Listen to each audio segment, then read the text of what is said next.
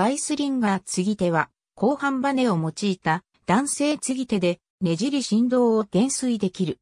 信頼性が高く、オーバーホールの間隔が長く、ライフサイクルコストが低いことが特徴である。ガイスリンガー継ぎ手は、回転軸に用いられる継ぎ手の一種である。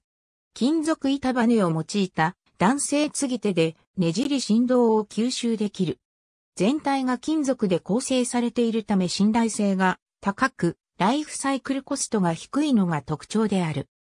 他の継ぎ手とは異なり、入力軸と出力軸の間の大きな半径方向のミスアライメントを補正することはできないが、軸方向のミスアライメントについては、エラストマー継ぎ手よりも補正量を大きく取ることができる。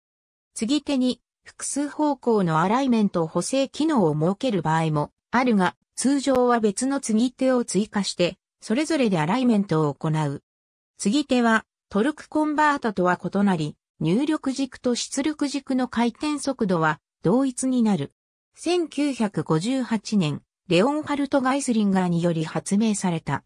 最初に採用されたのは、機関車用大型ディーゼルエンジンであったが、船舶でも広く使用されている。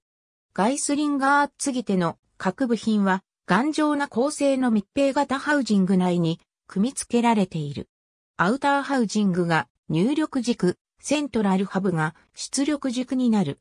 ハウジングの内部には何枚かの板バネを重ねたスプリングブロックが複数個放射状に取り付けられており、このスプリングブロックを介して動力が伝達される。構成板バネは任意に組み合わせることができ、変位に伴って剛性が直線的に増加する。板バネの減衰力はダンピングリングによって調整され、板バネのうち最も長いものの先端がインナースターに設けられたスプラインに噛み合わされている。板バネは潤滑油に浸されており、この潤滑油が振動を吸収する。スプリングを動かすには、スプリングとハウジングの間の狭い間隙から潤滑油を絞り出さなければならず、この際の抵抗が減衰力の源になっている。バネの表面積は大きいのに対し、バネとハウジングの間の間隙はごく狭いため、減衰係数を高く取ることができる。ガイスリンガー継ぎ手では、減衰力を継ぎ手のねじり、合成とは完全に独立して調整できるのが特徴である。減衰用の潤滑油は、通常はクランクシャフトに設けた貫通穴を通して、エンジン本体の潤滑システムから供給されるが、外部から潤滑油を供給できない場合は、継ぎ手自体に潤滑油を満たすことができる。継ぎ手に潤滑油を満たすことにより、潤滑性を保ち、耐用年数を長くすることができる。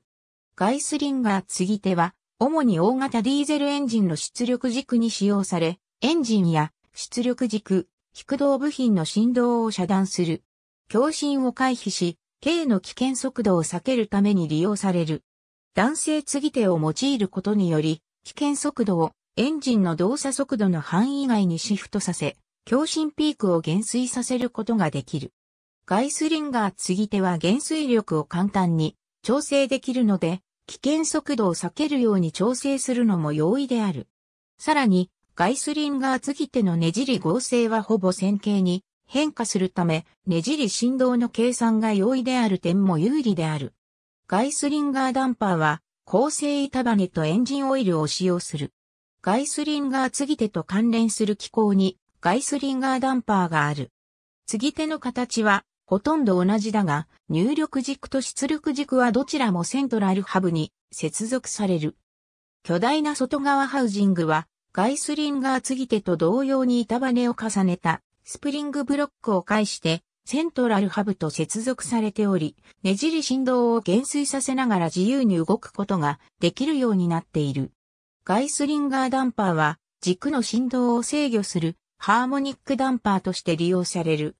ダンパーで使う構成板バネは、K の固有振動数を最適化するように調整され、エンジンオイルはねじり振動を減衰させるために用いられる。特別に開発されたソフトウェアを使用して、エンジンのクランクシャフトとカムシャフト、及び中間シャフトとプロペラシャフトを振動による損傷から保護するためのパラメータを算出し、それに基づいて設定される。ガイスリンガーダンパーは、機関室の気温に影響されることなく、その全寿命を通じて、一定の合成と極めて大きな減衰力を発揮する。ありがとうございます。